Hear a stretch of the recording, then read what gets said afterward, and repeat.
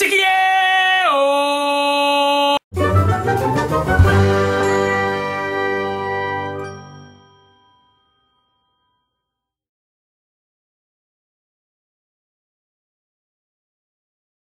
Yo yo what's up para penikmat Dupa Nusantara? Bertemu lagi kita di Dupa Pedia Channel Bersama saya Inyoman Mahabudi.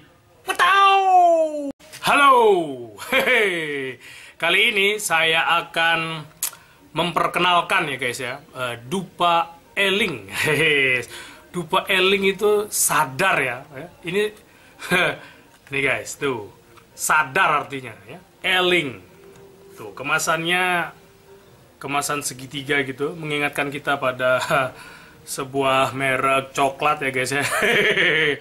Dapatnya ide begini juga karena beliin coklat untuk anak gitu kan. Bungkusnya langsung kita ATM weh. Dan memang eh, dari kemasan ini kalau kalau dilihat ya guys ya ini kan ada filosofinya ya nggak sih? Itu eh, Trikaya Parisude semua yang angkanya tiga itu keren itu ya kan? Eh, itu itu ada sakral gitu ya kan? Tiga tuh semua tiga kan?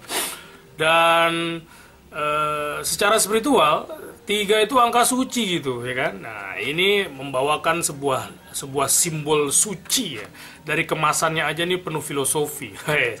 Dupo Eling. Dupo Eling ini sebenarnya ini buatannya ini guys ya. Dupa O. Hes, otentik, eh, organik. Hes. Dan ini nih saya kembali lagi ke tadi ceritanya. Di Eling ini sebuah pengingat bagi saya tentang ajaran guru spiritual saya yang sangat luar biasa, yang sangat mulia. Jadi saya hanya untuk me- mengingatkan untuk diri saya kembali gitu saya memproduksi ini, saya bikin dupo ini nih mengingatkan saya gitu agar untuk tetap eling, untuk tetap sadar. Siapa kita, untuk apa tujuan kita berada di dunia ini ya kita eling gitu loh. Dan saya konsepkan saya buatlah dupa eling ini. Ini isinya ada 11 batang ya. 11 batang campurannya macam-macam. Jadi ada bahan gaharunya ada kemenyannya terus kemudian kita mix up dengan eh, minyak atsiri minyak inti dari eh, bunga kamboja. Nah, sebelum kita main-main nih ke Dupa Eling itu sendiri, izinkan saya. Kenapa sih saya begitu antusias untuk me- me- apa namanya melabelkan Dupa Eling ini? Walaupun memang di pasaran tuh sudah ada ya. Ini saya bukan satu-satunya yang memberikan nama eh, Eling pada sebuah dupa. Ini sudah ada barang ini saya pernah lihat eh, ketika saya sudah meluncurkan Eling ini terus saya lihat oh ada orang yang membuat eh, merek Eling dan kalaupun nanti teman-teman ada yang merasa, wih ini Eling ini kayaknya barang yang keren banget, saya akan me, me- me- me- apa nih istilahnya mempatenkan lah misalnya, kan saya yang punya itu ya silakan. Intinya sih saya ini buat eh, buat eh, kebutuhan saya pribadi sih sebenarnya bahwa Eling itu kesadaran itu sangatlah penting buat kita. Dan kembali ke ajarannya guru spiritual saya itu bahwa Eling ini eh, sebuah eh, kebutuhan bagi kita. Kenapa demikian? Karena kita sesungguhnya ketika kita sadar siapa diri kita, apa potensi yang kita miliki, kita akan mampu membentuk 100% masa depan waktu momen apa saja yang ada di depan kita nanti. Kita sebenarnya penentu. Kita yang punya kuasa untuk menentukan itu. Jadi seberapa eh, sadar diri kita itu menentukan, sangat menentukan seberapa besar, seberapa akurat masa depan yang kita bentuk. Nah, dari penjelasan guru spiritual eh, saya itu yang benar-benar menggugah saya karena sebagian besar orang banyak yang menerima momen-momen yang tak terduga baginya. Kenapa? Karena hampir 99% mereka tidak menyadari apa yang mereka lakukan. Mulai dari pagi sampai malam hari mereka tidak sadar. Hanya satu persen yang mereka sadari. Mereka terlalu rush gitu loh dengan dengan waktu, dengan udah terlalu terikat ya, terlalu terburu-buru gitu loh dengan waktunya mereka walaupun eh, sesungguhnya itu adalah sebuah kewajiban itu dharma yang harus kita lakukan. Namun alangkah lebih baiknya kita selalu ya terlepas dari terlepas dari idealisme itu ya dalam keseharian kita hendaknya kita di awal dan di akhir perjalanan kita di hari itu kita merefleksikan diri kita. Siapa kita apa yang sebaiknya kita lakukan. Nah seperti itu. Itu introspeksi introspeksi kecil-kecil itu yang semakin lama nanti akan mem- membuat menjadikan kita uh, memiliki kebiasaan yang luar biasa kebiasaan yang mulia. Sehingga demi- demikian apa kita akan diarahkan oleh sang diri dalam diri kita. Diarahkan oleh kondisi jenius yang sebenarnya terhubung di dalam pikiran bawah sadar kita, terhubung oleh semua segala unsur yang ada di alam semesta ini. Karena buat Buana Agung dan Buana Ali itu kan terhubung satu sama lain. Jika kita menyadari bahwa sesungguhnya potensi itu ada dalam diri kita. Wes, ini kok makin makin makin berat aja nih kalau makin diolah-olah gitu ya. Dan itu sebenarnya sih tergantung dari uh, perspektifnya kita ya guys ya. Kalau kalau kita memang mau menyelaminya ya akan bisa ya lebih serius lah. Tapi tidak serius-serius banget gitu kan. Bayangin tuh, bayangin nih. Kita harus punya fluktuasi gitu kan ada serius, terus ada kadang-kadang santai dikit.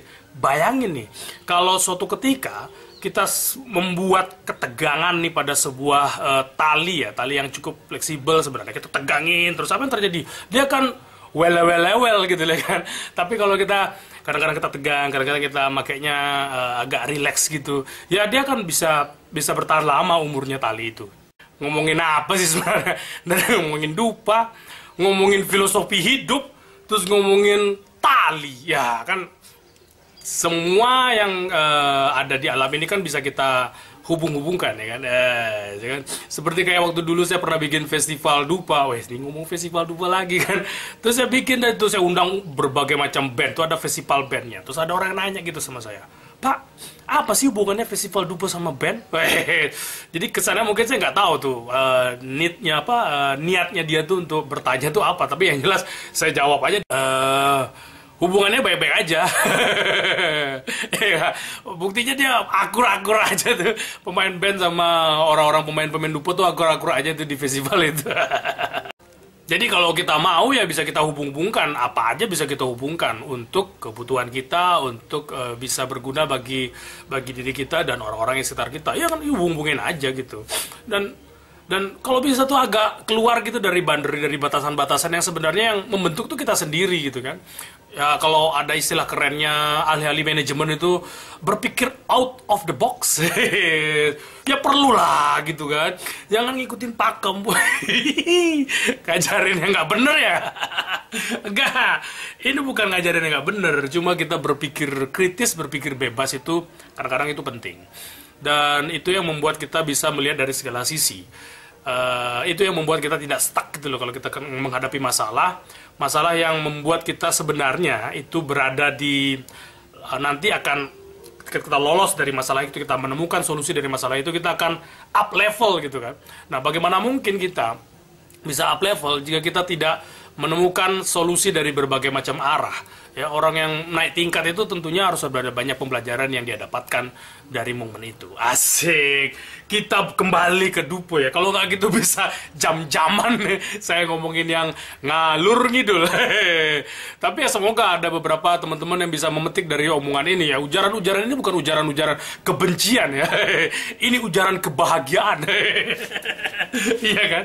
Oke kita ngomongin dupo eling. Wah ini udah saya keluarin nih karena Nah, nih, nih, nih. Ini isinya. Ya, isinya 11 batang ya. 11 batang terus saya bikin diameternya cukup besar. Ini nih cara pembuatannya nih gaharunya itu ya, gaharu. Serbuk gaharu itu saya mix up. Ya, kalau orang bilang nih istilahnya ini bukan gaharu alami yang memang dari sononya atau orang bilang uh, istilah kerennya apa sih itu orang-orang yang ngerti itu TGA atau TGC bukan bukan bukan nih nih karena memang uh, ini barang harganya cuma 30 ribu isinya 11 batang. Yang yang kalau mau garu yang asli asli bener dari alami memang tumbuh alami di hutan gitu cukup mahal ya guys ya mahal banget ya. Dan mahal pun itu relatif tergantung anda membutuhkannya. Jika ada dupo yang gaharu yang alami itu anda pakai tuh anda bisa langsung tenang banget dan anda bisa menyelesaikan solusi banyak masalah yang anda yang hadapi dalam kehidupan ini. Rasanya dengan kita hargai satu batang mungkin satu juta mungkin itu nggak mahal. Ya tergantung ya tergantung perspektifnya kita. Tapi saya sih menggunakan perspektif awam ya kalau dengan harganya satu batang satu juta itu cukup mahal. Ya cukup lah segini lah kan. Dan ini gaharu gaharu itu dibikin serbu terus kemudian kita cetak dan kemudian kita lumuri kita lapisi dengan uh, karamel campuran dari uh, apa namanya minyak atsirinya Kamboja dan kemenyan oh, yes. itu perpaduan itu perpaduan apik sekali sehingga dia akan uh, membuat uh, menciptakan vibrasi yang baik buat siapa saja yang ingin me menciptakan nuansa-nuansa yang tenang ya nuansa-nuansa damai gitu uh, baik itu untuk kebutuhan meditasi untuk refleksi diri untuk uh, aromaterapi di ruangan gitu. Yang membuat anda jauh lebih tenang jauh lebih rileks tuh anda berada di luar ruangan gitu kan dengan hiruk pikuknya dunia ini gitu kan dengan banyak informasi yang meklanuan gitu. Ya meklanuan. Istilah Bali ya meklanuan gitu kan. Terus anda masuk ke rumah anda hidupin ini ces. Itu worth it lah dengan seperti Anda berada di gurun pasir, Anda minum es teh manis yang segar. Ah, kayak gitu, gitu rasanya.